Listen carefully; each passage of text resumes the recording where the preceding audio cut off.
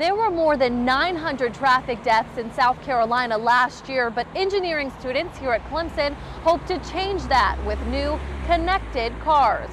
The primary purpose of these connected vehicles uh, uh, actually is to save lives. Imagine a morning commute that is accident free, one where you don't have to stop at a single red light. We are zooming through the intersections.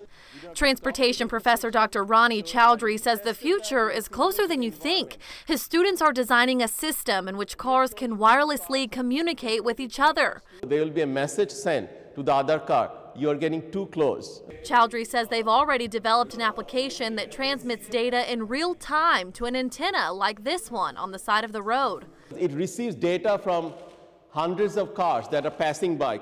And determines traffic patterns based on that data. Chowdhury says the system will alert passing cars to upcoming accidents and provide an appropriate detour. So it will have a, a, a brain that will decide how to distribute the cars. We are working with uh, all the connected vehicle devices. Graduate student Mackenzie Keehan tested the application out on her phone. There's a sense of safety and just knowledge when you know what's going to come up ahead before you even get to see it. Self-driving cars are already on the market. Chowdhury says wireless connectivity will make them safer and more affordable.